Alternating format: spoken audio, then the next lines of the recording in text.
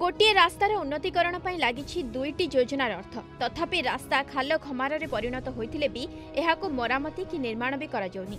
ଚାରି ବର୍ଷ ବିତିଗଲାଣି। ପୁରୀ ସଦର ବ୍ଲକର ଗୋପୀନାଥପୁର ଗ୍ରାମ ପଞ୍ଚାୟତର ଖଣ୍ଡିଆ ବନ୍ଧର ରାସ୍ତା ଆରମ୍ଭ ହେବାର ନାଁ ଧରିନି। ପୁରୀ ସହର ଉପକଣ୍ଠର ଅଠର ନଳା ନିକଟରେ ହୋଇଥିବା ବେଳେ ଚାରି ବର୍ଷ ଧରି ଭୁଆଁ ବୁଲାଉଛି ପ୍ରଶାସନ। ଦୁଇହଜାର ଷୋହଳରେ କୁମ୍ଭାରପଡ଼ା ଥାନା ନିକଟରେ ତତ୍କାଳୀନ ନବକଳେବର ଭିତ୍ତିଭୂମି ଅଧ୍ୟକ୍ଷ ମହେଶ୍ୱର ମହାନ୍ତି ସାଂସଦ ପିନାକୀ ମିଶ୍ର ଖଣ୍ଡିଆ ବନ୍ଧ ବାଇପାସ୍ ଦୁଇଶହ ତିନି ନମ୍ବର ଜାତୀୟ ରାଜପଥରେ ମିଶିବ ବୋଲି ପ୍ରତିଶ୍ରୁତି ଦେଇ ଭିତ୍ତିପ୍ରସ୍ତର ସ୍ଥାପନ କରିଥିଲେ। ହେଲେ ଦେଖନ୍ତୁ ରାସ୍ତାର ବାସ୍ତବ ସ୍ଥିତି।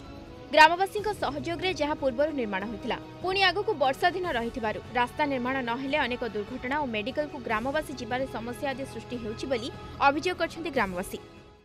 ଏକ୍ଜିକ୍ୟୁଟିଭ ଇଞ୍ଜିନିୟର ଯେଉଁ ଆରାଣ୍ଡ ବିଧ ସେମାନେ ତହସିଲଦାରକୁ ଚିଠି କରିଥିଲେ।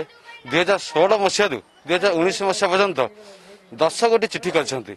କିନ୍ତୁ ଏ ନେଇ କୌଣସି ତହସିଲଦାର କାର୍ଯ୍ୟାନୁଷ୍ଠାନ ଗ୍ରହଣ କରିନାହାନ୍ତି ଏବଂ ଏ ଲ୍ୟାଣ୍ଡ କୌଣସି ମାପୁନାହାନ୍ତି। ସେଥିପାଇଁ ଏ ରାସ୍ତାଟା ବନ୍ଦ ହୋଇ ପଡ଼ିଛି। ଏ ରାସ୍ତାଟା ନ ହେବା ଫଳରେ ଆମର ଗାଁର ବହୁତ କ୍ଷତି ହେଉଛି। ଯେ କୌଣସି ଗାଡ଼ି ଆସିପାରୁନି ଆମ୍ବୁଲାନ୍ସ ଆସିପାରୁନି।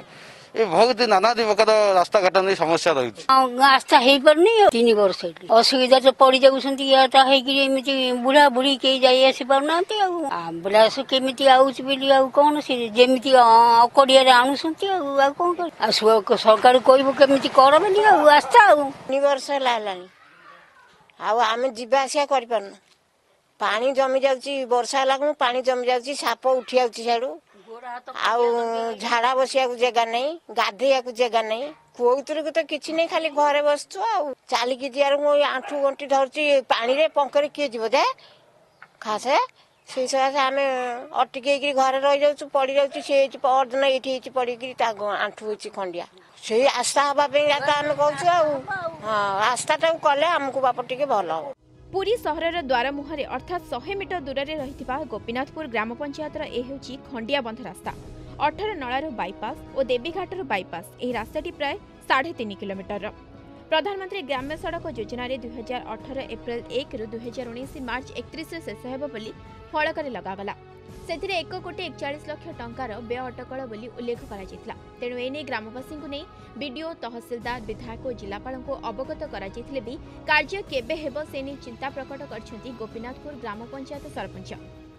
ଦୁଃଖର ଏବଂ ପରିତାପର ବିଷୟ ଏଟା ଟାଉନ ପାଖ ପଞ୍ଚାୟତ ଅତି ନିକଟତମ ଏବଂ ଟାଉନକୁ ଲାଗିଛି। କହିଲେ- ଟାଉନ କହିଲେ ହିଁ ଚଳେ।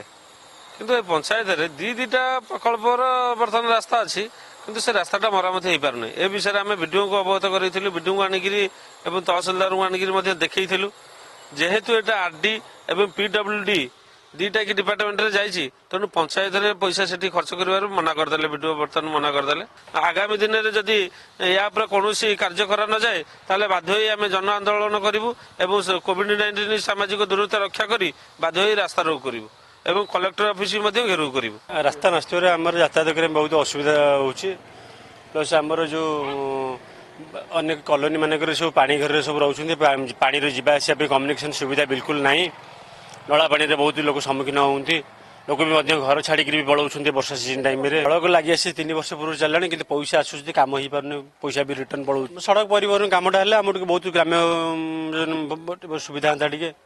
ଗୋଟିଏ ରାସ୍ତାକୁ ଦୁଇଟି ଯୋଜନା। ଏନେଇ ଗ୍ରାମବାସୀଙ୍କ ଟ୍ୱିଟ୍ ପରେ ପୂର୍ତ୍ତ ସଚିବ କରିଛନ୍ତି ସମୀକ୍ଷା। ସେପଟେ ଏହି ରାସ୍ତାକୁ ନେଇ କୋଟି କୋଟି ଟଙ୍କା ବାଟମାରଣା ନେଇ ଗ୍ରାମବାସୀମାନେ ଅଭିଯୋଗ କରିବା ସହ କୋଭିଡ କଟକଣାକୁ ଉଲ୍ଲଂଘନ କରି ଆଗାମୀ ଦିନରେ ଜିଲ୍ଲାପାଳଙ୍କ ଅଫିସ ଘେରିବେ ବୋଲି ଧମକ ଦେଇଛନ୍ତି ଗ୍ରାମବାସୀ ଓ ସରପଞ୍ଚ। ପୁରୀରୁ ଭିଡିଓ ଜର୍ଣ୍ଣାଲିଷ୍ଟ ସନାତନଙ୍କ ସହ ଆଲୋକ ଆଶୁତୋଷଙ୍କ ରିପୋର୍ଟ ଅର୍ଗସ୍ ନ୍ୟୁଜ୍।